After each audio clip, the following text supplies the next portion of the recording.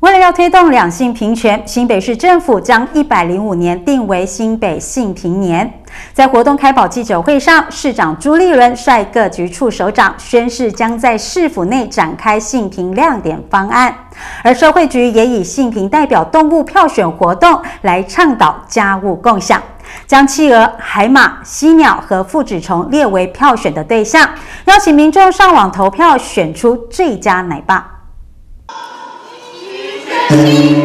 新北市长朱立伦敲响了锣声，宣誓一百零五年新北性平年系列活动正式开跑。在活动记者会上，市长朱立伦表示，将会从各个层面重视女性权益问题，同时市府二十八个局处也都将针对性别平等工作来齐心推动。不管妇女的健康、妇女的安全、妇女的就业、妇女的这个任何的教育，还有妇女的任何的工作上面，我们都需要靠大家来努力。所以，我们新北市二十八个局处，每一个局处通通都一起动起来。而为了倡导家务共享，新北市社会局推出了全台首创的性平代表动物票选活动，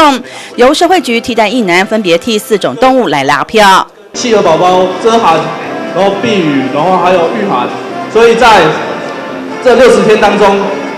都会瘦下二十公斤左右。然后记得要选我。这四种动物包括了企鹅、海马、犀鸟及父子虫，所代表的角色都是奶爸的形象。而新北市长朱立伦也特别以托育中心所长为男性为例，表示不论在工作或家庭上，都应该两性平权。就像我们重视妇女权益，也重视男性权益啊。那同样的，我们公共托育中心的第一所公共托育中心的园长，我们的这个所长也是男性啊，也可以啊，不一定要女性。那同样的，用这样的案例用在所有的工作上面，我们都是展现出两性平权。而从即日起到三月二十号，民众只要上网票选最具性平代表的动物，就有机会获得动物造型随身碟。另外，新北市政府也从三月份起，每个月以接力的方式，在各局处展开性平亮点方案，期盼让性别平等深入新北市每个角落，并且真正落实在生活之中。记者杨邦友、超方琪，新北市采访报道。